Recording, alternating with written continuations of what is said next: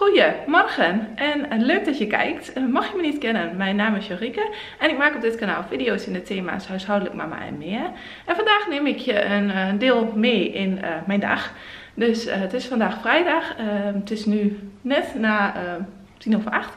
Michael brengt nu de kinderen naar school en ik moet zo meteen weg. Ik heb namelijk therapie. Um, dus daarom brengt Michael de kinderen ook even. Ben erachter lekker rustig uh, staat. Daar kun je zo eerst naar kijken. En dan uh, gaan we lekker verder met de dag. En dan laat ik je nou ja, wat delen daaruit zien. En um, ja, hoop ik dat het leuk is om een keer een beetje meegenomen te worden. En voor nou ja, de informatie wel goed misschien om te weten dat op vrijdag gaan de kinderen dus gewoon de hele dag naar school bij ons. En dan worden ze smiddags opgehaald door opa en oma. En dan gaan ze smiddags daar naartoe. Wij eten dan altijd met z'n tweeën en dan halen we ze na de, uh, het avondeten weer, uh, weer op. Dus ik heb vandaag, uh, omdat ik nu nog volledig thuis ben, de hele dag voor mezelf. Nou, ik ben in afwachten van de operatie, maar daarover ehm, deel ik later nog wel een keer wat. Misschien is dat al geweest, ik weet even niet in welke volgorde alles komt. Maar nou ja, dat is dus een beetje, vandaag heb ik echt even, dat is eigenlijk de enige dag in de week vaak dat ik helemaal van mezelf heb. En... Ik ook echt even rustig aan kan doen. Dus dat is wat ik ook ga doen. En dat zul je dan denk ik wat minder zien. Maar goed. Uh, kijk lekker mee met mijn dag vandaag. Ik sta op voordat iedereen wakker wordt. En ga dan even naar beneden voor een meditatie en een momentje voor mezelf. Fijn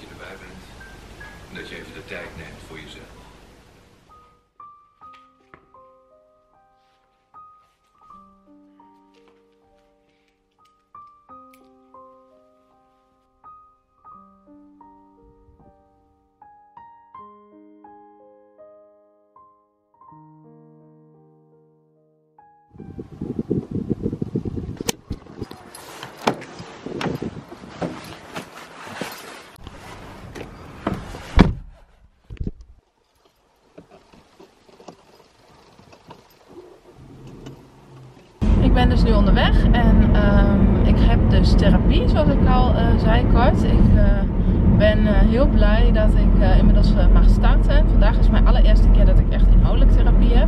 Vorige keer heb ik alleen kennis gemaakt. En ehm, ja, het is PMT, psychomotorische therapie. En ja, ik ben heel benieuwd wat mij dat uiteindelijk mag brengen. En dat kun je natuurlijk niet na één sessie zeggen, maar daar wel vertrouwen in dat dat wel een goede manier is. Want ik ben uh, nou ja, best goed uh, mondeling vaardig en ik kan dingen heel goed relativeren en bedenken en dergelijke. Alleen um, het voelen en met name het gaat voor mij ook heel erg om grenzen aangeven. Uh, maar ook vooral de grenzen voelen bij mezelf. Dat, ja, dat is gewoon heel moeilijk en dan moet je in de praktijk oefenen. En op een of andere manier vind ik dat heel moeilijk waar andere mensen bij zijn. En heb ik heel erg in mijn eerdere leven mezelf geleerd dat altijd maar doorgaan een goed idee is. En, ja, mezelf pushen en uh, ja, hup, schouders eronder en door. Um, en daardoor mezelf ook eigenlijk heel vaak veel beter voor gedaan dan dat ik was. Als in um, vrolijke, energieke, nou ja, dat zeg maar. Dus ik ben benieuwd wat uh, vandaag uh, voor mooie eerste stap mag zijn.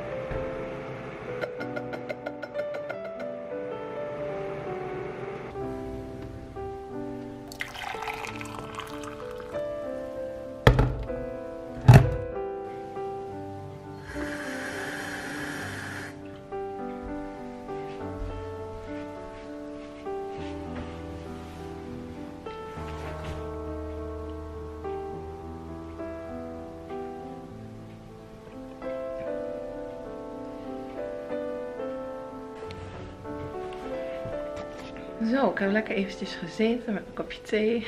Uh, even een rustmomentje.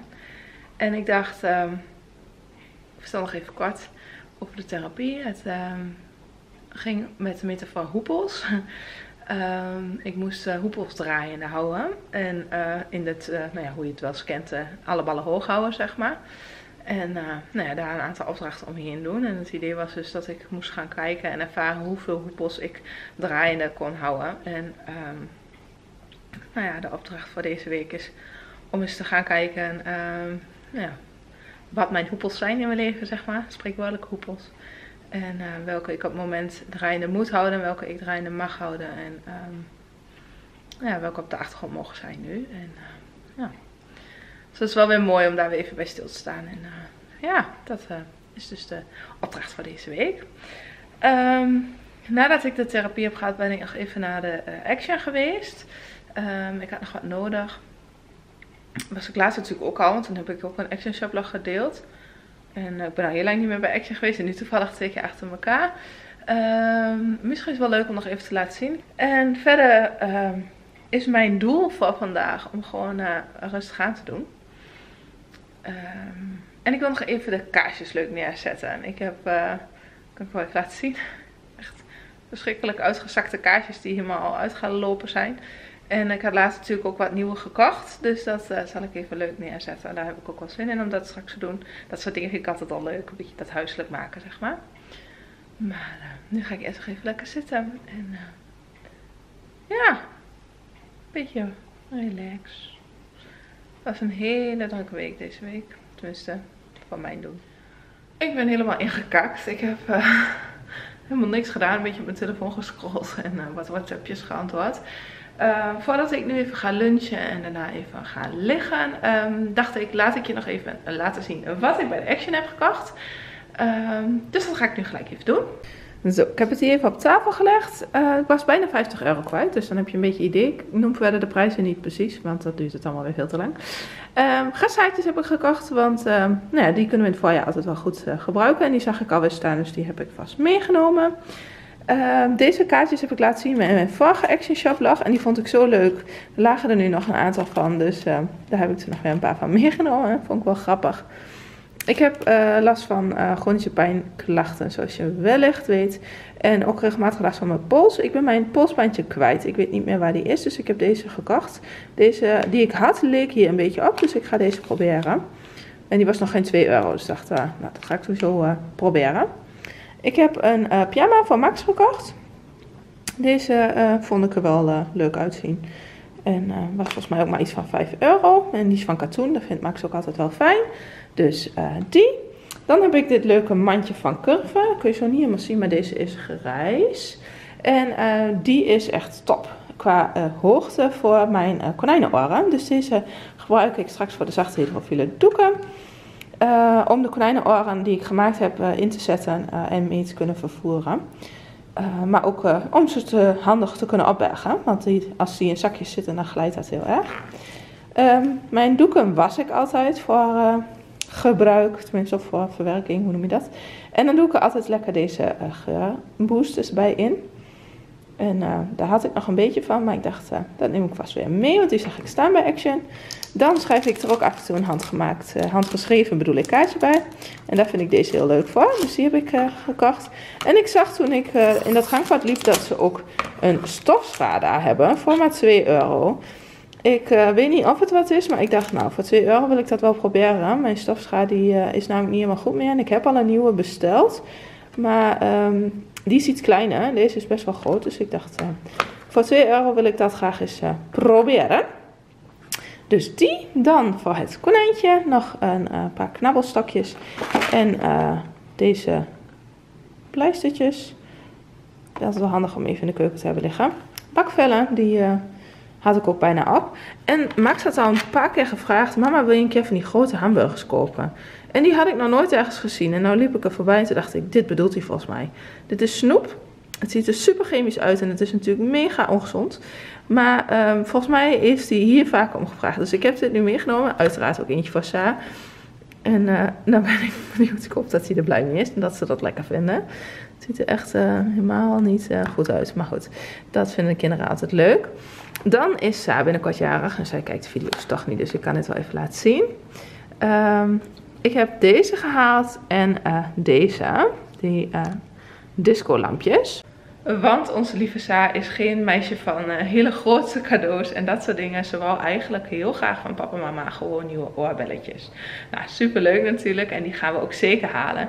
Maar toen dacht ik, ja, alleen nieuwe oorbelletjes is ook zo wat. En toen zei ze, ja, maar ik wil ook heel graag die disco lampjes die een vriendinnetje van haar ook heeft. Dus ik had aan die moeder gevraagd. Ik zei, ga, uh, ze heeft van die lampjes uh, gekregen voor de verjaardag. Nou, meisje was laatstjarig. En um, ik zei, waar heb je die gekocht? Ik zei van, dan ga ik daar ook even naar kijken. Dan kunnen we die misschien wel van uh, op en oma vragen of zo. En toen zegt die moeder, oh, die zijn gewoon voor action. En dat meisje vindt het dus geweldig. En Sa ook. En dan gaan ze dus samen discofeestjes houden. Nou, hoe leuk. En uh, nou, dit kost dus nog geen 5 euro. Dan heb je dus drie van die lampjes met een afstandsbediening wat op batterijen werkt. En uh, dan kun je dus discofeestjes houden. Nou, helemaal leuk. Dus um, Sa is in maatjarig en daarvoor heb ik dit vast gekocht. En toen heb ik dus ook uh, nog deze diadeem erbij gehaald. En ik heb nog een leuk iets waar wat uh, pennen in gaan. Sa vindt glitterpennen en stiften en alles heel leuk op het moment. En is helemaal weg van dit soort diademen en scrunchies. En uh, ik maak natuurlijk altijd hydrofiele scrunchies voor haar. Maar hier zitten weer glitters in. Dus ik denk dat ze dat ook wel leuk vindt. Dus um, ze krijgt met haar verjaardag een beetje een soort van verrassingspakket, mandje. Uh, nou ja, zoiets. En um, nou ja, de rest moet ik dan natuurlijk nog wel uh, aanvullen. Maar daar heb ik dus uh, alvast dit van gekocht. Ik denk dat is wel leuk om even uh, erbij te vertellen. En dan nog uh, wat potloden en deze puntenslijpers. Want ik heb ook van die puntenslijpers, maar er zit niet zo'n bakje omheen. En dat vind ik toch vaak wel heel onhandig. Want dan moet je elke keer naar de prullenbak lopen. En dus dit leek me wel handig. En ik heb deze gehaald. Deze zijn een beetje, um, hoe zeg je dat? driehoekig. Dus die kunnen we makkelijk vasthouden. En het zijn wel mooie felle kleuren, want Sa kleurt dus heel graag op het moment. En Max had mij gevraagd of ik ook gewoon normale potloden kon kopen. Want dan kon hij schrijven en tekenen met een gewoon potlood. En die bleken we helemaal niet te hebben. We hadden alleen maar van die kleurtjes. En dan niet van deze grote, maar van die kleintjes hadden we. En van die stiften en um, hoe noem je dat? Uh, krijtjes en dat soort dingen wel. Maar zoiets had ik helemaal niet. Dus ik dacht, nou dan uh, neem ik die nu maar mee. Volgens mij was deze 1 euro en deze iets van 40 of 50 cent. Dan nog een, een, klein geurkaasje. Ik kwam deze toevallig tegen en deze rook heel lekker. Dus die uh, heb ik nog weer meegenomen. Nog een deodorantje voor mezelf. Deze gebruik ik wel vaker, maar meestal dan met die uh, roze uh, opdruk. Die heet ook Pure Invisible, maar die heet nog iets anders. Ik weet even niet. Maar deze is vast ook wel prima. Even kijken, dit heb ik allemaal laten zien. Oh ja, en dan nog eens van die uitdeelzakjes snoep. Want dat is tegenwoordig wat de kinderen dan willen.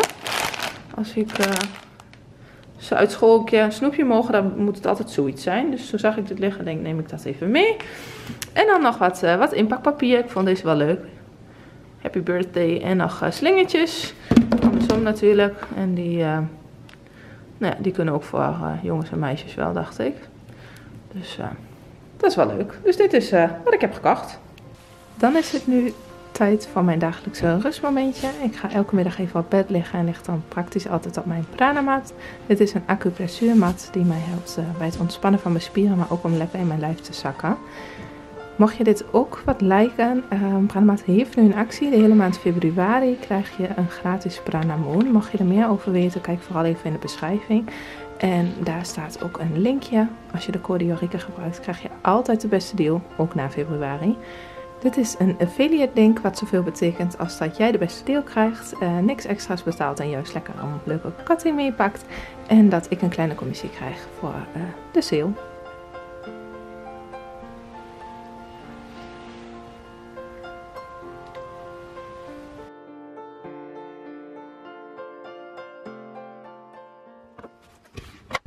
Dan is het nu tijd om iets leuks en ontspannends te doen. Ik ga lekker aan de slag achter mijn naaimachine.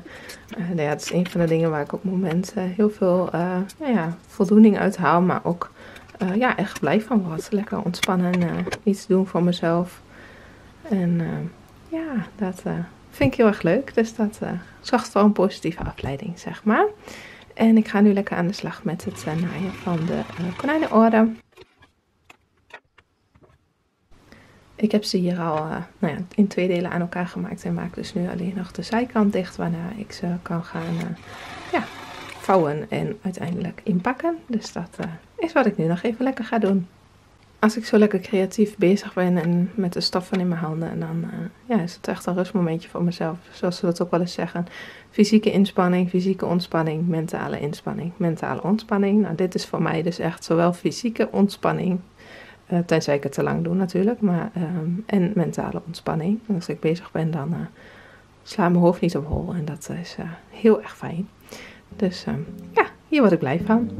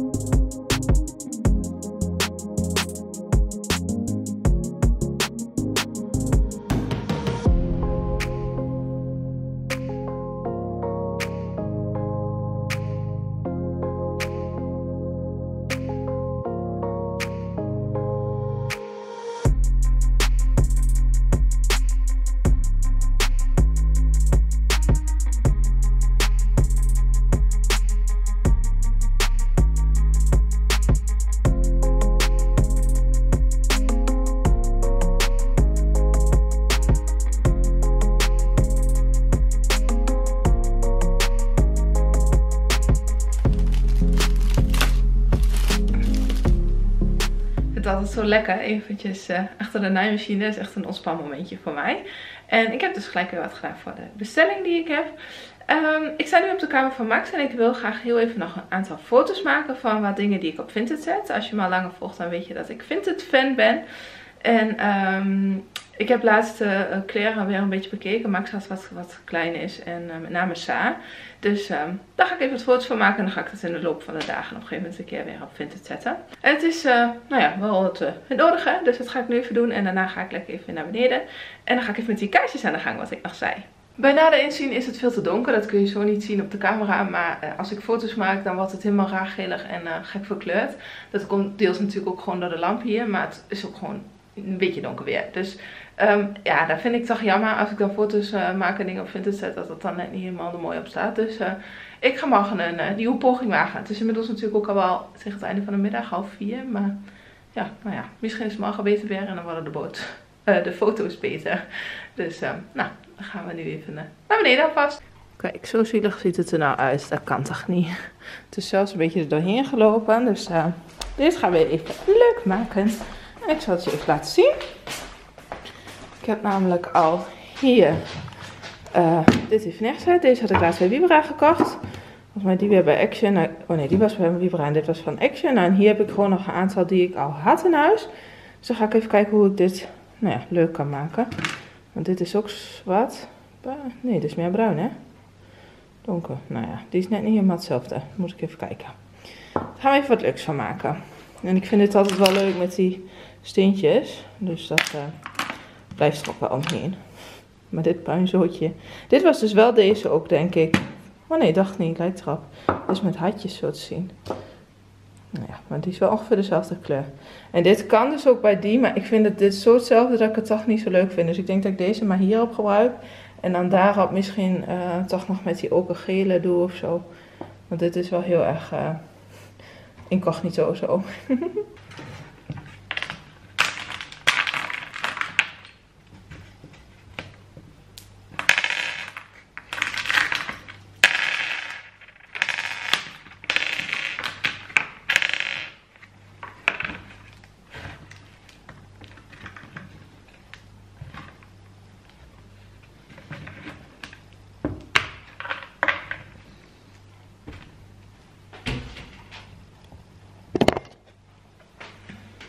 Dit gaat een stuk moeilijker dan ik had gedacht. Uh, dus ik ga het even losbikken. en er dan wat leuks van maken.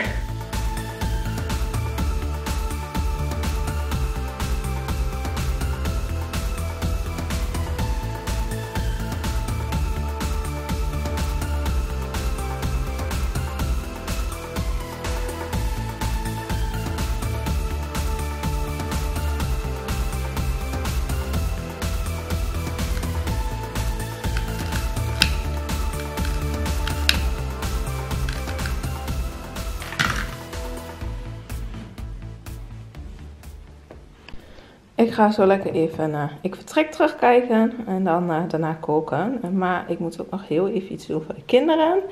Um, ik denk dat ze heel blij worden als ik deze even strijk. Ik had deze van een vriendje gemaakt, Sa deze van een vriendinnetje en deze had Sa samen met mij, want dit kan ze natuurlijk nog niet helemaal zelf, maar gemaakt gisteren. Um, ja, dus die moeten even nog gestreken worden. Dat vinden ze af en toe heel leuk. Dus.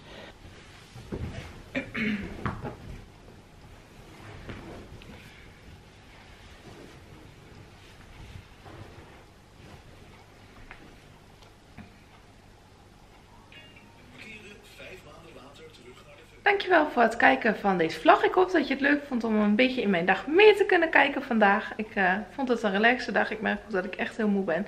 Het een uh, intensieve uh, paar dagen zijn geweest hiervoor, zeg maar. Dus ik vond het fijn om het even lekker rustig aan te hebben kunnen doen. En leuk om je daar een klein beetje in mee te nemen natuurlijk. Dus dankjewel voor het kijken en ik zie je heel graag in de volgende video opnieuw.